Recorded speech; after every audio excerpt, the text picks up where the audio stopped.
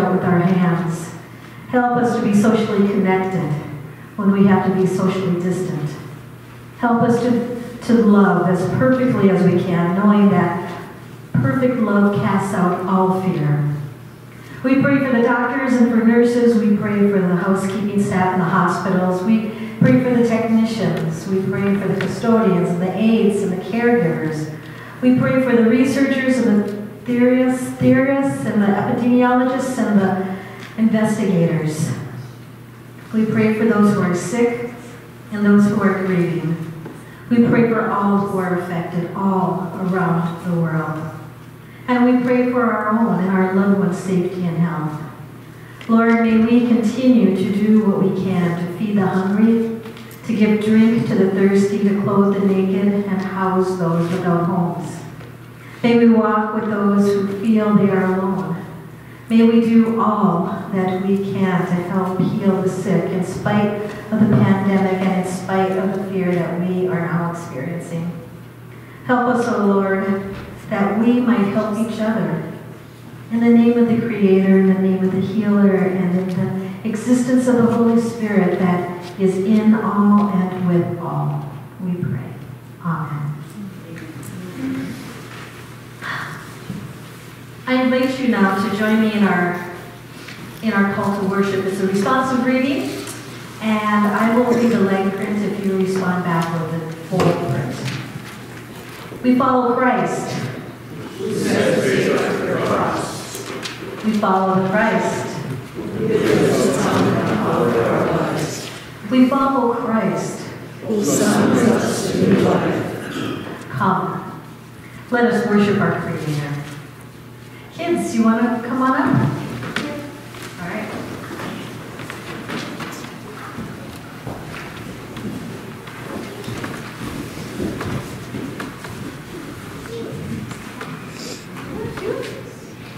Hi, everybody. So, you like my little fade there? That's not it. It's not actually my I, there was a whole bunch of them here at church when I got here yesterday, and um, they came from from a family that um, just felt it on their heart that they should make up all these little bags to um, for us to give out to people that might not be able to make it to church. So that got me thinking about Lent, and one of the things that people do during the season of Lent is they give stuff up, right? Have you ever heard of that? What are you giving up for Lent? You heard that? Yeah. What? Hmm. So, that also got me thinking. And really, Lent isn't like, you know, your second chance at a New Year's resolution. You're not going to, you know, that's, that's not what it's for. Um, you know what Lent is? Lent is a 40 days that Jesus was out in the desert struggling, couldn't eat right, and he was being tested, and it was not a fun time one little bit.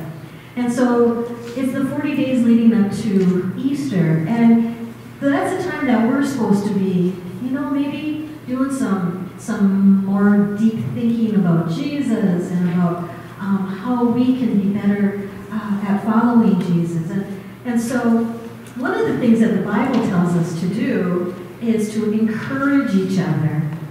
And so that's what these bags are here. That sometimes, you know, this whole COVID thing, you've heard about all that, right? That's going around. Um, so people that are are maybe um, more likely to get sick or they're, you know, know, something's going on. They might have to stay in their houses for a longer time, so they're not exposed to germs, that, you know, they don't go places where they might pick up some germs. And so I thought that what we could do is we could be encouragers, like the Bible tells us to do. And if anybody has a neighbor that might be, you know, in their house for a long time, or, or somebody that you know might be sick, if you want to take one of these bags and put it on their doorknob and just knock and walk away, um, you just let me know, all right? So, um, so that we can all be encouragers, and e- even not even giving out bags, but just, you know, giving encouraging words to each other, and, maybe helping a little extra if we can do that. Um, because things are going to look a little bit different um, in the next few weeks. Who knows what's going to happen? I did hear that you might not have school for a while, so who knows? Who knows what? And I know it's not vacation. No, so still have to do homework. Still have to do school. Might not go to school. We'll see. So, okay. That? Here's a hedgehog. All right, let's say a little prayer, right? Dear Jesus, during the season of Lent, help us to give up discouraging words and instead help us to encourage each other every single day. Amen. All right, thank you.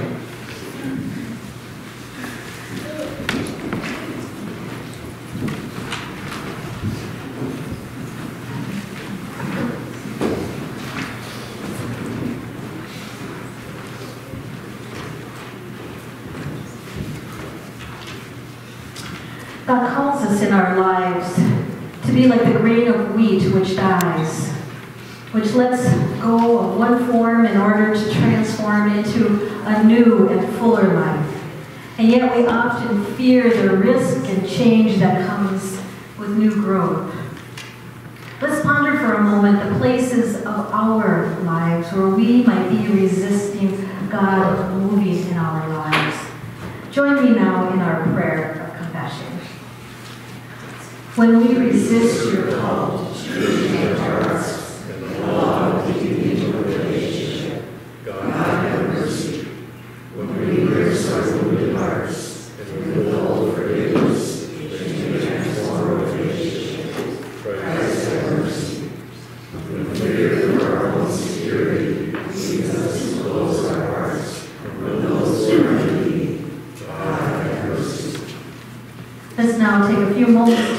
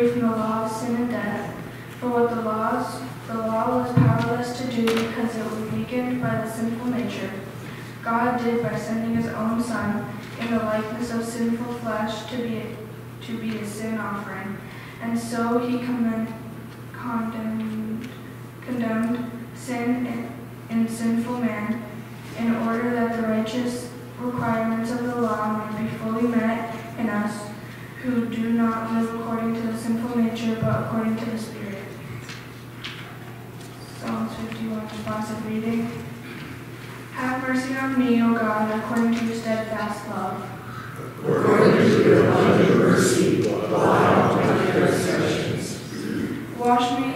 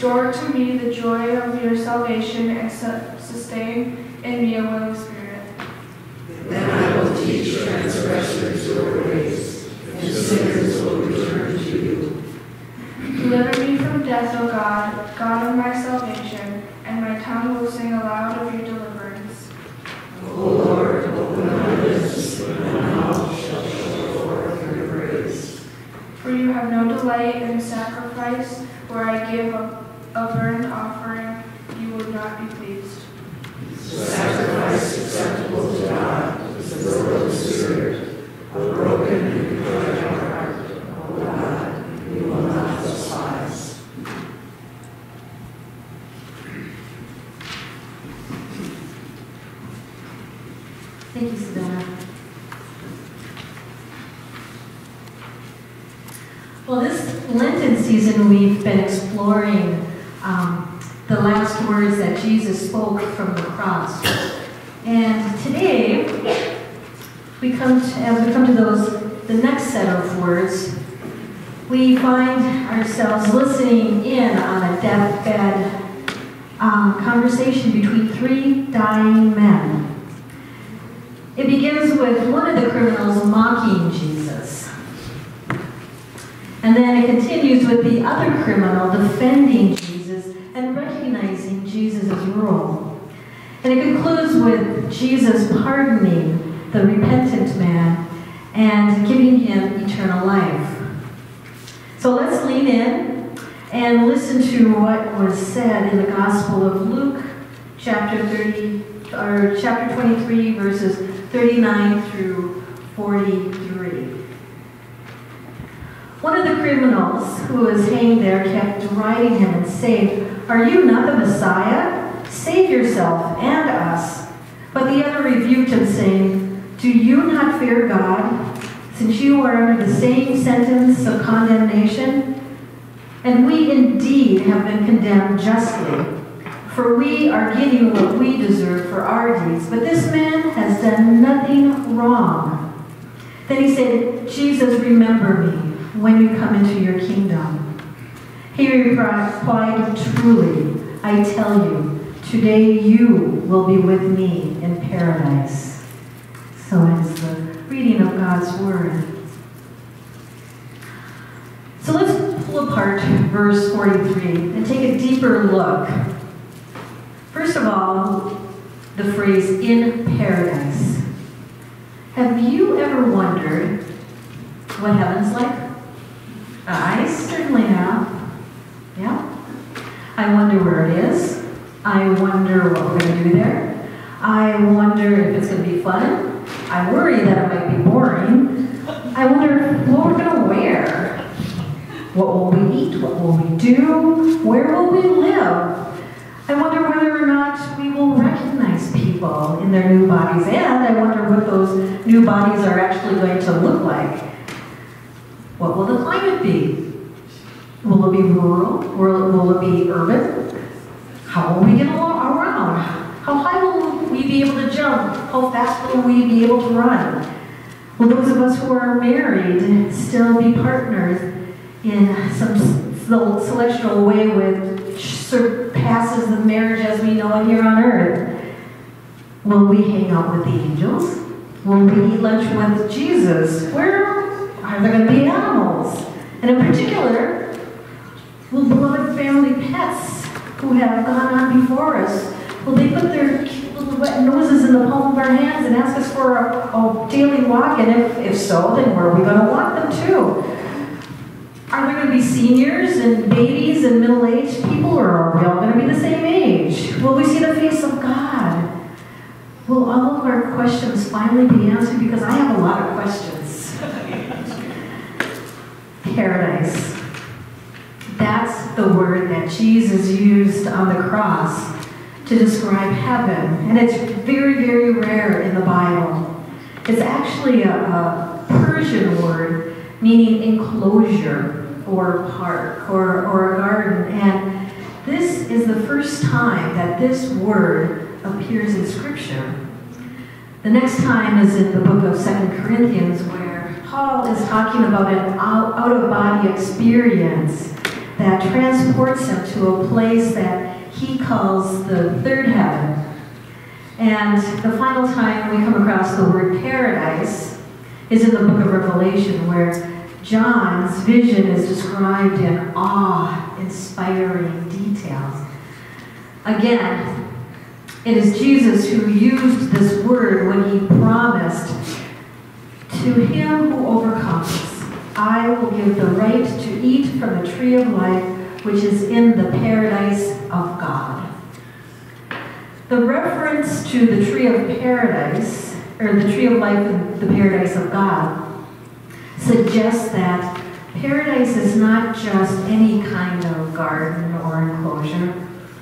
It's the sinless, weedless, painless garden of Eden that we have heard described in the book of Genesis, where it says, Now the Lord had planted a garden in the east, in Eden, and there he put the man he had formed. This paradise is what Jesus promised the criminal after his death. So this is how we may picture heaven and eternal life. It's probably not going to be some misty, I don't know, disembodied experience that we find in some galaxy far, far away. Instead, I truly think that we are destined to live and work and play and find community with our Creator and our fellow mortals in a place of great beauty filled with color and sound and life and meaningful activities. How many of us find immense pleasure in gardening? I wonder if that urge to work in the soil is, is actually a longing to return not just to nature, but to our first home, that lush green garden that God had originally created. So, how about the next phrase? You will be with me. One of the most excruciating experiences, experiences in life is to be left out, to be unwanted. And I suspect that the thief on the cross knew the pain of rejection. Uh, I base that on the fact that he is called both a criminal and a robber in all the Gospels. we also have his own admission that he deserved execution. So I don't think that we would be far off to imagine that he is a misfit, a person who is a, abandoned perhaps even unloved. My guess is that there is no one on Golgotha that day to mourn his death. My guess is that he lived his life believing that no one would want anything to do with him, especially someone like Jesus who had done nothing wrong. Imagine then his shocked reaction when Jesus looked him in the eye and he said, You will be with me. You and me, Jesus, he must have thought? How could that possibly be? Someone who was usually picked last and then inexplicably was chosen first for once? He must have looked Jesus with disbelief. You and me, a king and a con man, a ruler and a robber, a savior and a sinner, together forever? You and me? Jesus must have received that exact same re- reaction time and time again during his life as despised tax collectors and prostitutes and lepers felt his love and acceptance. How many others before and how many others since have been shocked to hear that Jesus wanted to be with them? How many of us have not thought, you and me, Jesus, in paradise? And yet, that is precisely the heart of the good news. That there is a God who wants to be with us. As a matter of fact, that good news is clearly heard in the promise of the coming Messiah, quoted in the Christmas story in the book of Matthew. It says, The virgin will be with child and will give birth to a son, they will call him Emmanuel, which means God with us. Like the criminal, we are shocked at the news that God is more than willing to stoop down to us. We should never forget that in the original paradise, God created humans not only to tend to the garden, but to enjoy fellowship together. You get a strong sense of that when we read in Genesis then the man and his wife heard the sound of the Lord God as he was walking in the garden on the cool of the day. And they hid from the Lord God among the trees of the garden. But the Lord God called to the man, Where are you? So here's the thing. We were created to be in fellowship with God. God's goal is to be with us again. And God's agent of reconciliation is Jesus.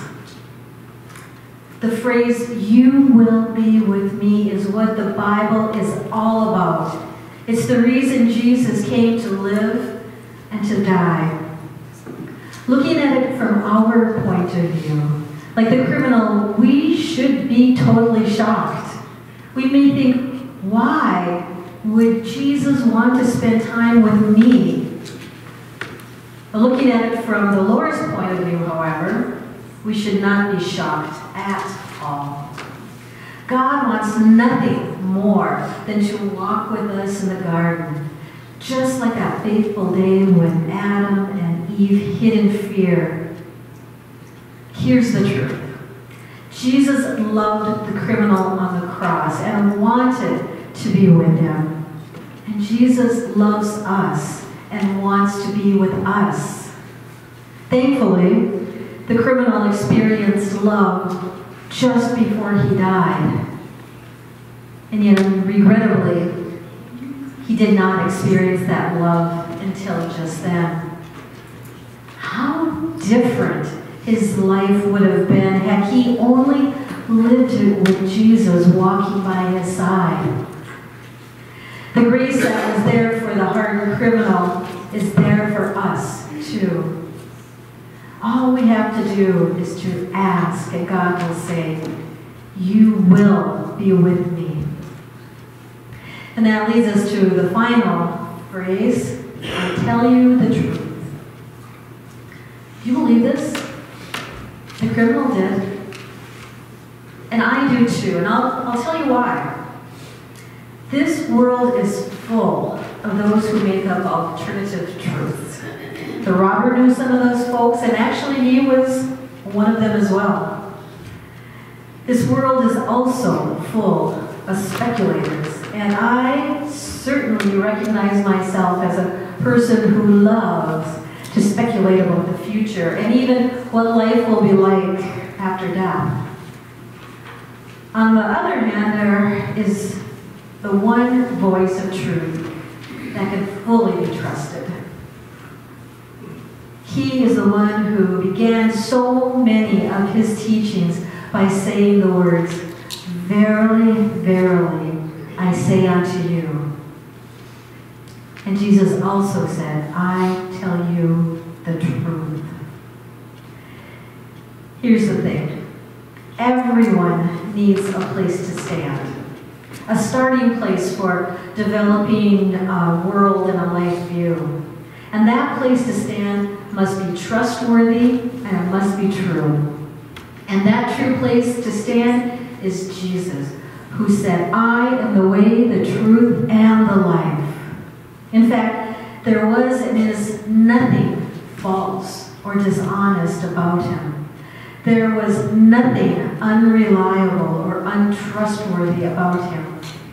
People heard him preach and they saw him do miracles. They watched him carry the cross and they were amazed at his authority.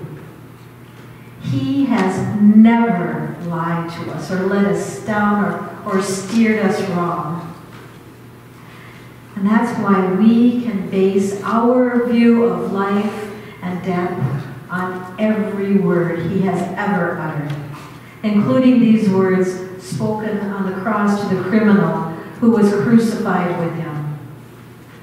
I urge you to do what Jesus advised his followers to do when he told them in the book of John, If you hold to my teaching, you are really my disciples.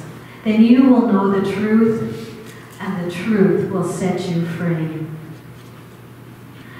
After a life of lying and being lied to, the man crucified with Jesus, he shook himself free from the opinion of that other criminal and separated himself from the mob hostility that was aimed at Jesus. And he decided to take a leap of faith. He turned to Jesus and he put his trust in him. And when he did that, Jesus looked at him with a heart full of compassion and eyes full of promise. And he said, I tell you the truth.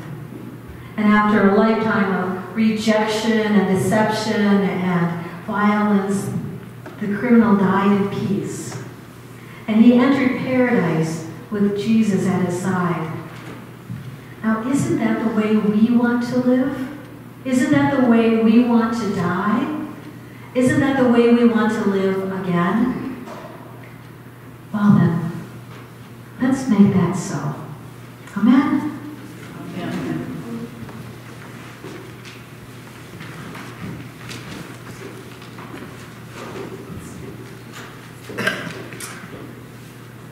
Now is a time of the service where we lift up our prayers of joys and concerns and whatever it is that we want to share with the community of the United Church of Two Harbors to pray over. Are there prepare prayer requests at this time?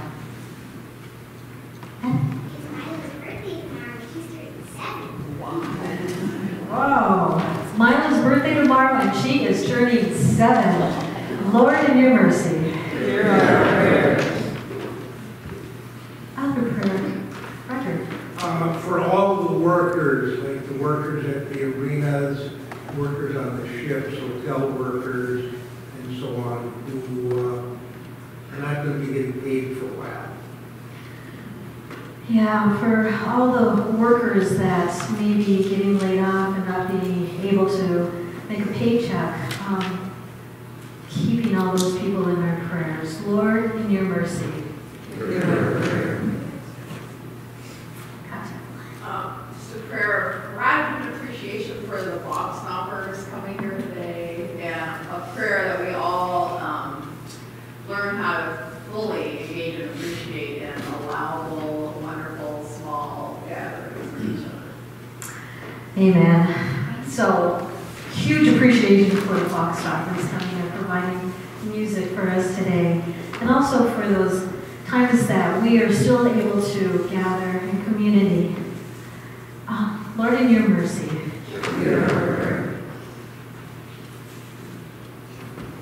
Jody. I have two. One is continue, please continue prayers for our niece Lita as she goes through her continuous battle with breast cancer. That's the first one. So prayers for Lita, um, who has been going through this horrendous battle of cancer for the last five years. Lord, in your mercy. Yeah. Our second one is a prayer of joy. We, after 33 years of my sister living in Northfield, we moved her to Duluth on Friday, and we are so happy to have her close to us, and she is adjusting well, and we are very relieved with that. Oh, wonderful. Jody's sister, did you say 33 years? She was in Northfield for 33 years. Wow. She is now up here, well, in Duluth and adjusting well. So Lord, in your mercy. Rylan. Prayers for all the people in- with the coronavirus.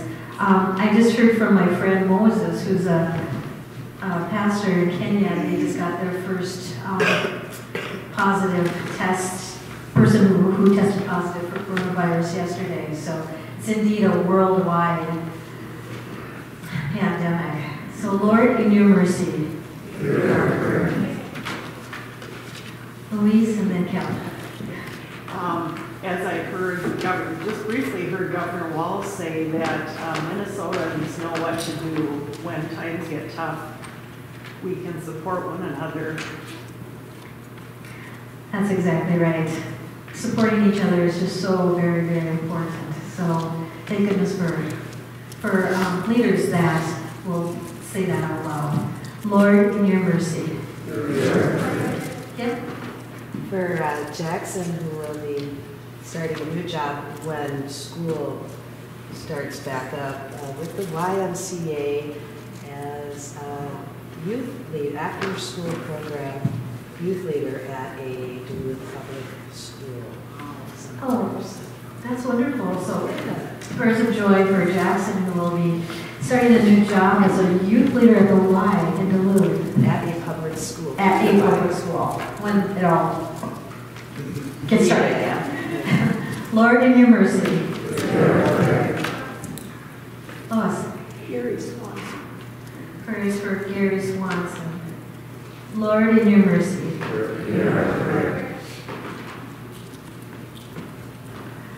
Let's pray.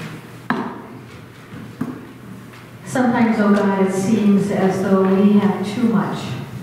Too much violence, too much anxiety, too many demands and problems, too many broken dreams, too much war, too much greed, simply too much to bear. So here we are again, coming to you with that which is on our minds. Thankfully, we can pray. Thankful that you promise to hear us, and thankful that being here reminds us that we are not alone. We pray, O God, for the nations of the world that you would guide their rulers to set aside fear and greed and ambitions. Help them and help us to see the world and all its children as yours. people in need of security and equal opportunity, people deserving of meaningful work and empowering education, creatures in need of clean air and clean water and clean food. Be with nations where natural, natural disasters have occurred and keep occurring. Floods and fires, cyclones and droughts have ravaged the lives of thousands of people. Be their refuge and strength through the agencies and the workers providing aid. We pray for those who struggle with anxiety and depression. Pray that each day they would see a glimmer of your light that would be enough to get them through just one more day. Gracious Lord, be with people we know and love. Provide hope and assurance to those whose health is threatened. Be a gentle presence for those who have lost the love of their lives. Provide wisdom and humor to parents in the throes of raising children. Hear us now in a moment of our own silent prayer as we lift up the names of those friends and loved ones, especially in need of your grace.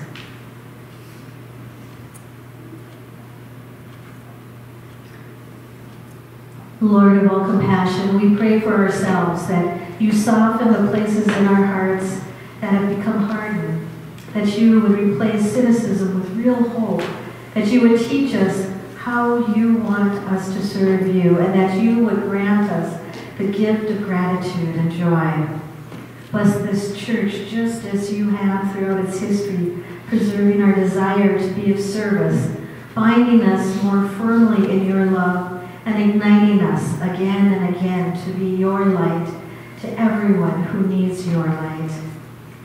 We are a restless people, dear Lord, restless and wandering, sometimes up, sometimes down, sometimes hopeful, sometimes despairing. And so we need you. We know that, even though we keep forgetting. Remind us as often as is necessary that we do need you, but also that you do love us.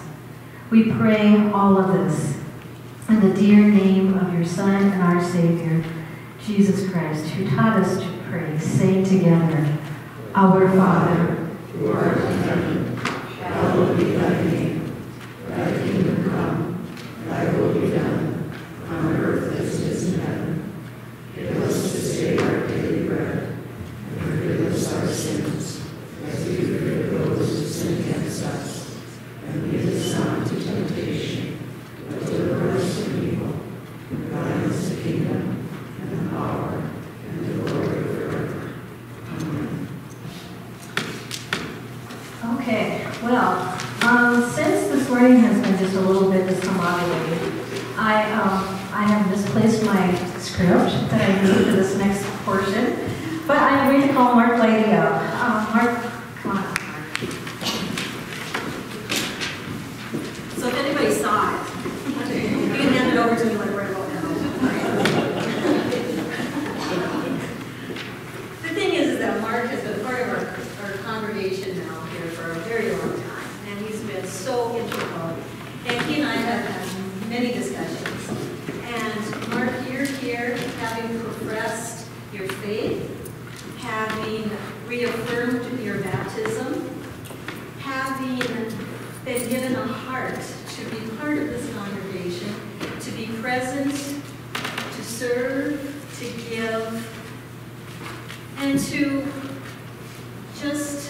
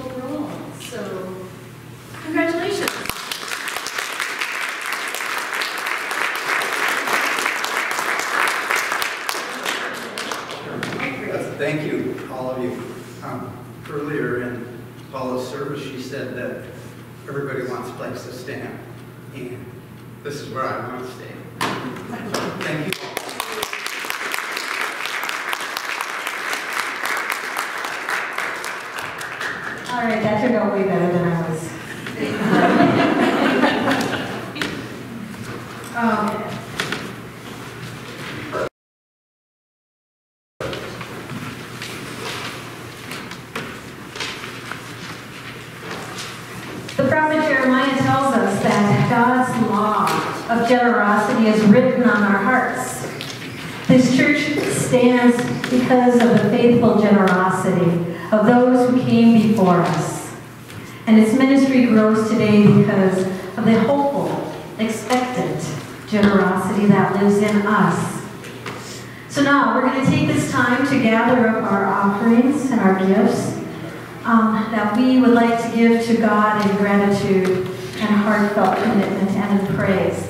And what we're going to do, because in this day and age of not passing collection plates to each other, there's um, a, a collection plate at each of the entrances to the sanctuary. So at the end of the service, um, please put your offerings in those plates at that time.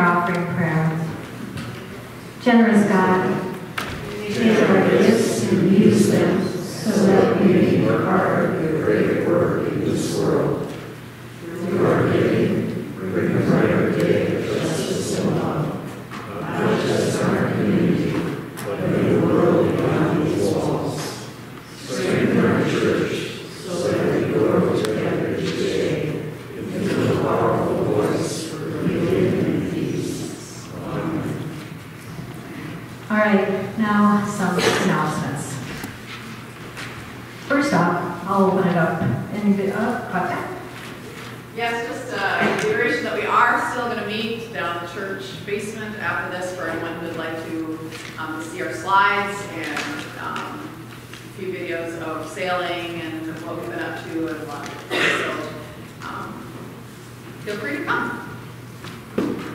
So, following the service, there is going to be fellowship, and, um, and the Gordons were going to tell us all about their adventures. Um, so, looking forward to that. Uh, other announcements? Mark?